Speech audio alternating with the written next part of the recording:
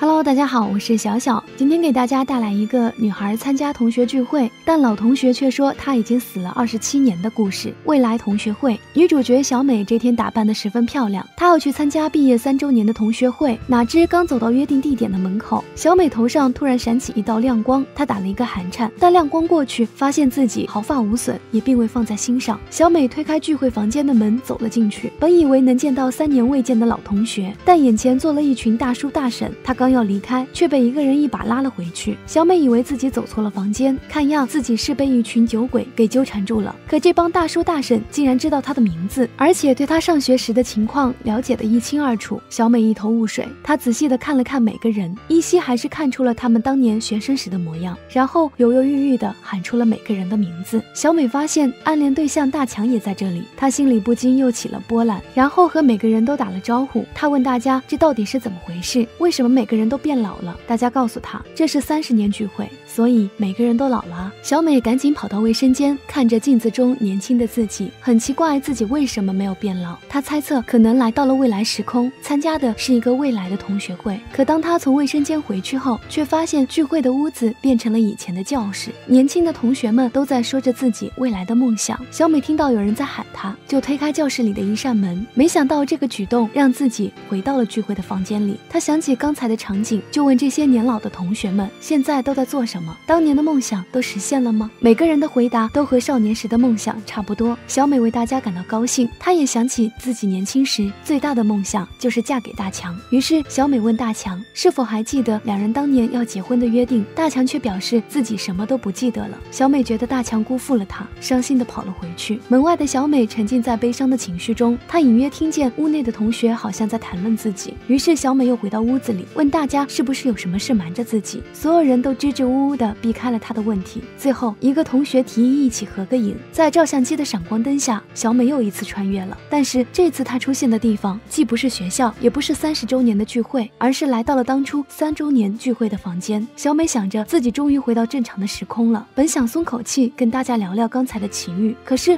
所有人都看不见她，无论她怎么叫喊，都没有人回应。这时一道闪光亮了一下，小美想起她在来的路上也有。这么一道闪光，还没等他弄明白两者有什么联系，自己又穿越到了三十周年聚会的现场。小美看见所有的老同学都手持匕首和蜡烛，表情沉重，这让她有些害怕。一个同学安慰她不要怕，并告诉小美，她已经死了二十七年了。这也并不是什么同学会，而是大家为她召开的通灵会。原来小美在三周年聚会的那天晚上死于一场爆炸事故。二十七年过去了，同学们从青年步入老年，可是大家对小美的思念却从未变淡。在他们毕业。三十周年的日子，老同学们想到了用通灵的方式和小美再聚一次。此时，小美明白了为什么她没有变老，也明白了大强为什么没有履行和自己结婚的诺言。故事的最后，大强为小美戴上了婚戒，让小美完成少年时的梦想，成为最美丽的新娘。小美也在所有人的祝福中，开心的离开了大家。好了，今天的故事就介绍到这儿。喜欢我的亲，不要忘记关注我。我们下期节目再见。